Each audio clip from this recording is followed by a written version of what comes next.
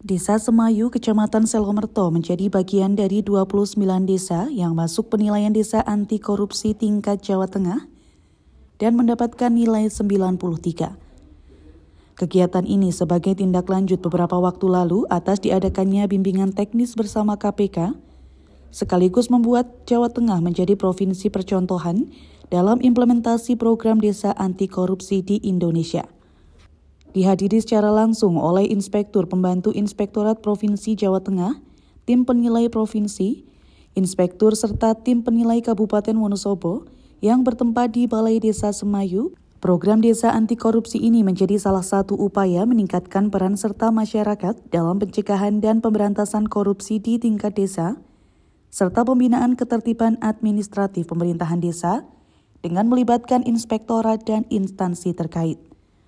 Indikator program yang masuk dalam komponen yang dinilai antara lain tata laksana, pengawasan, pelayanan publik, penguatan partisipasi masyarakat, serta kearifan lokal yang dimanfaatkan.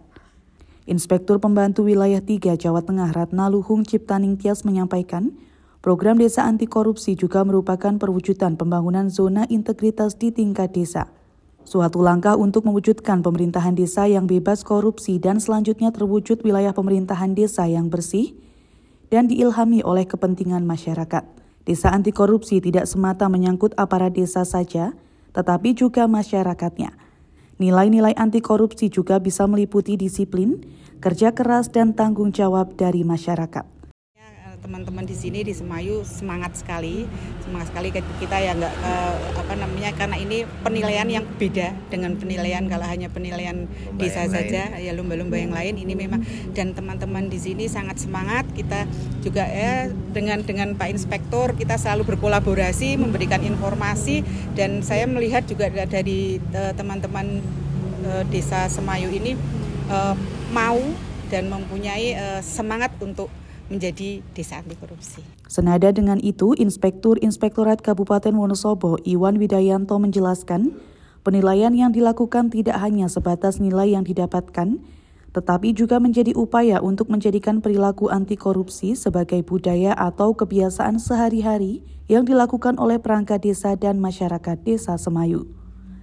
Uh, persoalan korupsi yang kadang marak di berita di media dan lain sebagainya tentu harus disikapi dengan baik.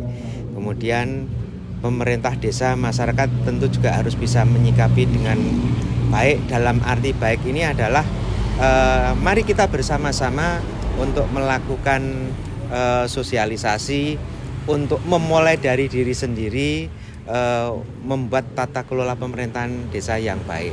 Dengan cara apa?